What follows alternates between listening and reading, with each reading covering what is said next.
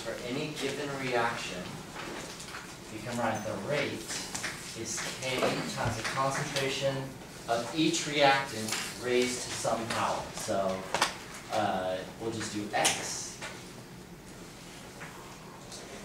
Say there's reactant B, we'll raise it to the Y. Say there's reactant C, we'll raise it to the Z power. X, Y, and Z are the order. X is the order with respect to A. B is the order with respect to B.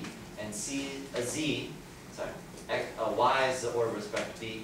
Z is the order with respect to C. X plus Y plus Z equals the overall order of the reaction. Uh, to find units, uh, the units of K will always differ. The order is always gonna have the same units, nothing. So no units for the order. But K will always differ. So to find the units of K, basically solve for it. It's the rate divided by each of the concentrations.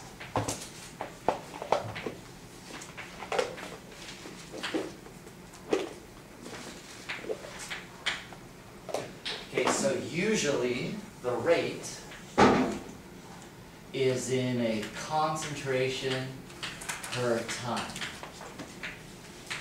And then usually each of these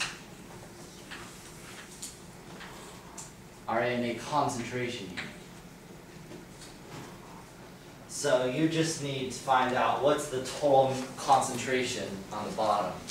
It, it's related to the overall order, so if the overall order is six, this would be concentration to the sixth power.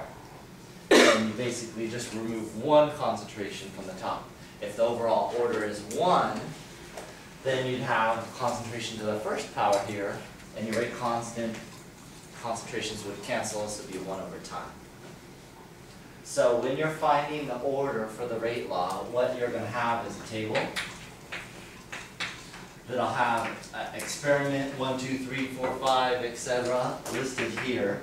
It'll have each of your reactants, say there's A, B, and C, uh, with molarity values for each experiment that there is, in this case three, there could be ten experiments, whatever.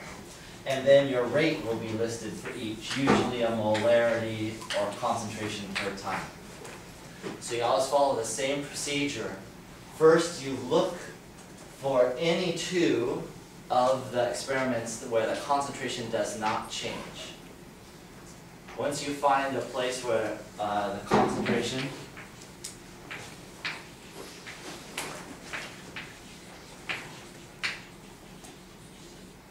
Once you find a place where the concentration doesn't change, and you have to do that for X, for Y, for Z, or for A, B, and C. You, for each case, you need to find places where the concentration doesn't change. Once you do that, then uh, you take a ratio of the rates, uh, and basically for, there's going to be some number, say to the x. And you'll reduce that to solve for x. So you'll have, be left with one unknown. In this case, where there's one, two, three, uh, two, two of these three have to have the same concentration on two lines. So that they both cancel out, and you're only left with one exponent. Uh, once you do that, so you find x, y, z, etc. Once you do that, you find k. And k, you just pick one experiment. Whichever one you run, it will be the same answer for each because k is not going to change over the given reaction.